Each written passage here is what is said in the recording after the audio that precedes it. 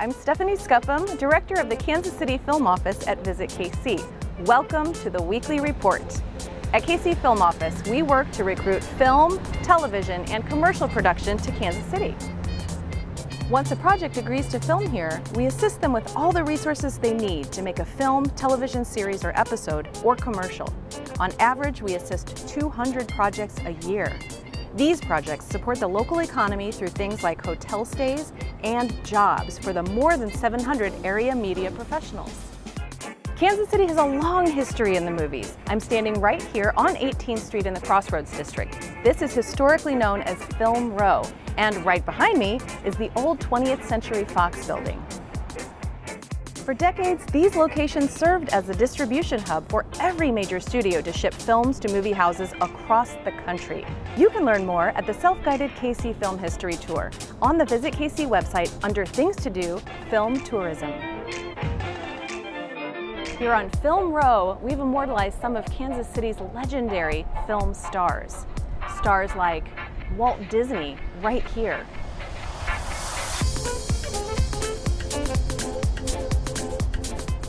Ginger Rogers, Robert Altman, even Jean Harlow.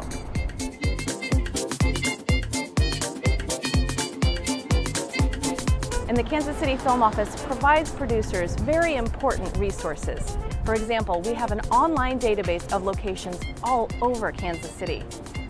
This database provides visual information on places to shoot throughout Kansas City.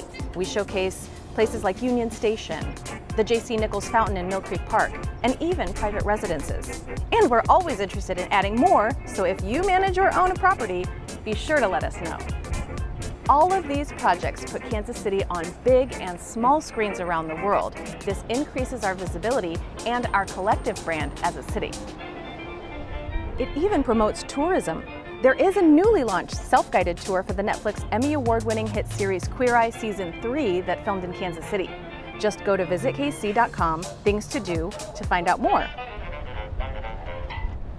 And the breaking news this week is that you can see Kansas City on television in more than 190 countries with the release of Netflix Queer Eye Season 4. That means the Fab Five are back. Time to get out your tissues for a lot of happy crying while you binge watch. And speaking of all things Kansas City, did you know that 816 Day is recognized as a real Kansas City holiday? The City Council passed an ordinance in 2018 to celebrate all things KC each August 16th. Get out and enjoy Kansas City culture featuring live entertainment, branded events, and special shopping and dining deals created for the occasion. Day-long festivities throughout the metro will culminate at City Market with a theatrical performance by Kemet the Phantom at 8.16 p.m. If you're like me, you're counting down the days till it's back to school time. Did you know Kansas City residents can take advantage of the three-day sales tax holiday coming up? During Friday, August 2nd through Sunday, August 4th, shoppers who purchase certain items of clothing, shoes, school supplies, and computers in Kansas City, Missouri stores will not have to pay any sales tax. For a complete list of eligible items, visit dor.mo.gov slash tax and search Back to School. When we work with out-of-town producers, they are fascinated that Kansas City is full of historic and modern architecture. For example, right over my shoulder is the MGM building, and up the block from that is the beautiful Kauffman Center for the Performing Arts.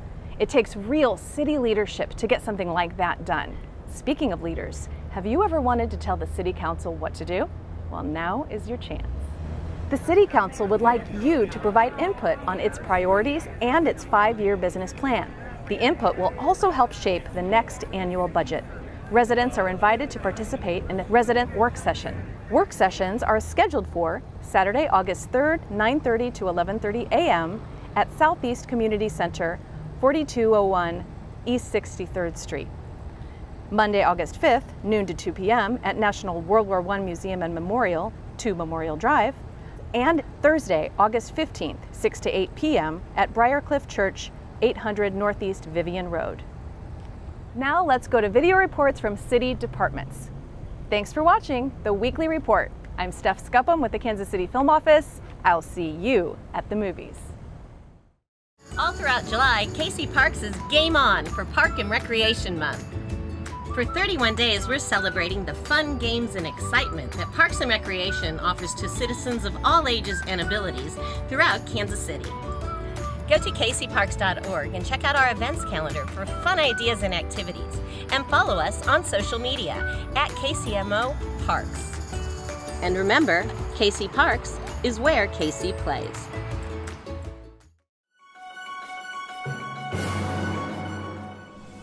He's only five years old, but Damon Mertz can tell you a lot about a wastewater pump station. This is like a little toy control panel right there. Oh, for his pump station. For his pump station? That's crazy. right there. Yeah. His mom, Heather Kellum, said Damon has always wanted to know where things would go. She says it started with a vacuum. Then, where does the water go when it goes down the sink? We have like a, a little sewer at the end of our driveway. And, and, and, I flushed the toilet and I like put my ear to the sewer lid and I heard it go in there. One day in late June, a KC water crew was doing some work on Damon's block. He was thrilled and wanted to meet the people who work on the drains and sewers he is so interested in. He took a picture with our crew, which his mother shared on Instagram, and later built his own treatment plant with his Legos. This is the water treatment plant. This is the actual plant where the water gets treated. But it comes up through this hose, goes up that, up that. KC Water wanted to show Damon the real thing and invited him on a tour of the Fishing River wastewater treatment plant. John Lopez is the chief plant operator. He and Jorge Garcia showed Damon just how wastewater gets from his home to the treatment plant, from the pipes to the pump station to the basins where the water is cleaned by tiny microorganisms. This is where the air bubbles are introduced to the bugs to keep the bugs alive. Damon saw the control panel that keeps everything moving and barely resisted the urge to push any buttons. Control panel, that was my favorite part. He also saw how clean the water is when it goes back into the river. It was a treat for all of us here at KC Water. We hope Damon's interest in wastewater engineering lasts as long as the small souvenir he got to take home. What do you want to say? I was another poop toy. For KC Water, I'm Heather Frierson. Today we are at Musical Theater Heritage located on the third level of the Crown Center shops at 2450 Grand where nearly 50,000 visitors are expected this year alone. Today we are also speaking with Executive Artistic Director Tim Scott who will tell us what happens behind the scenes and in front on the stage. Thank you for coming today. Yeah, thanks for having me.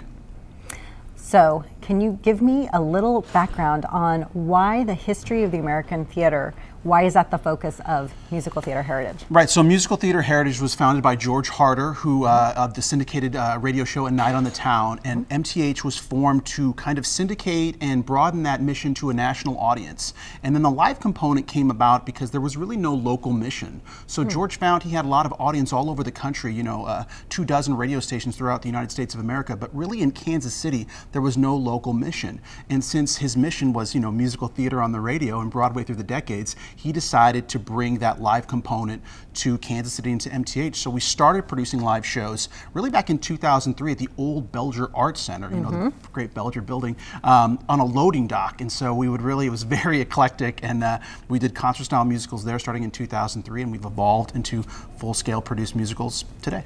Mm -hmm.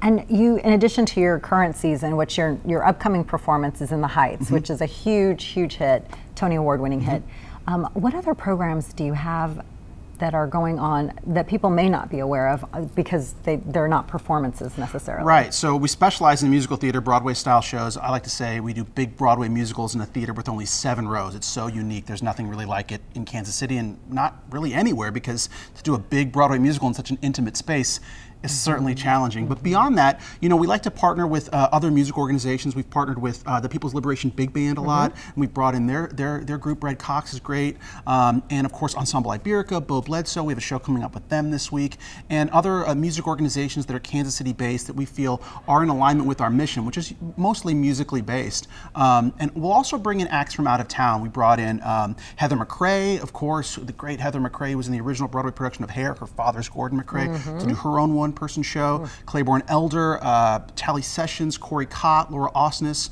bringing in Jeremy Jordan. Great Jeremy Jordan, uh, he was the original in Newsies to do his show uh, coming up later this year.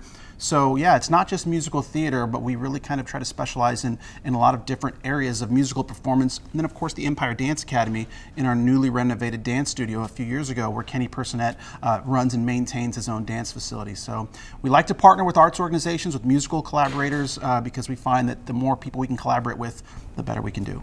How about your educational programs for youth, and Yeah, why is that important to Definitely. So in 2016, we started the education program here. We had 24 students enroll that year as kind of a pilot session.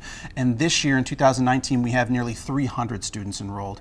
and you have something going on now. You have summer art camp going on. Right. So we're in like our, we, we do summer camps through June and July, um, all through August 2nd is when our camps conclude. And, you know, we got national recognition because we were one of the first uh, companies to do a Camp Hamilton where we take all that great Lin-Manuel Miranda stuff. We've partnered with Operation Breakthrough, who th- those kids are really attracted to that and really feel heard and included in that type of music and experience.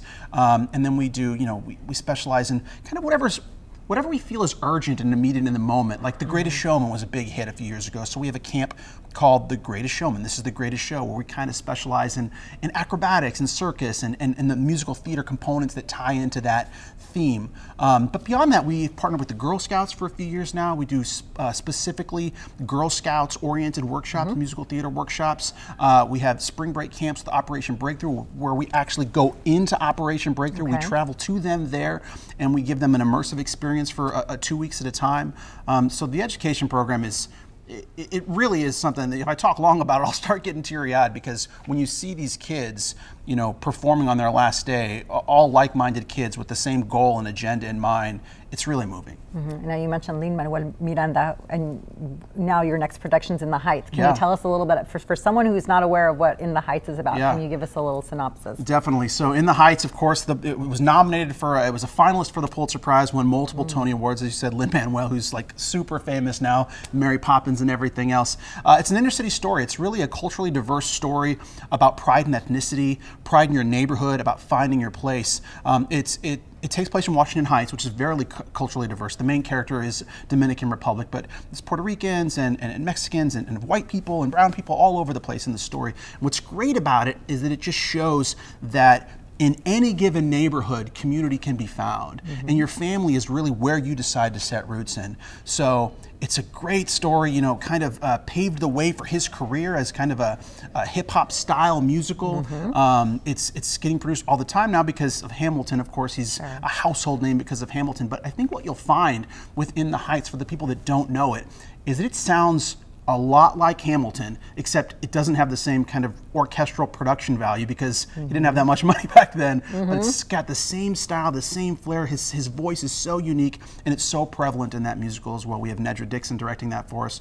Super proud. And I, I told you earlier that we have Amanda Zieve, who was the assistant lighting designer on Hamilton, who's coming in to do lights for In the Heights for us. So we're really excited to see what they come up with. And if people are interested in finding out more about the programs and about getting tickets for In the Heights, Yeah. where would they go? So the easiest place is to go online to musicaltheaterheritage.com or mthkc.com. Either will work. You can call us the box office. It's 816-221-6987. We're pretty easy to find. We're in Crown Center. Google In the Heights, Kansas City. I'm sure we'll come up. Great. Yeah. Well, thank you so much for taking time to talk to us Of today. course. Thank you. The Neighborhood Tourist Development Fund supports local nonprofits that bring cultural, social, educational, and recreational activities to our area.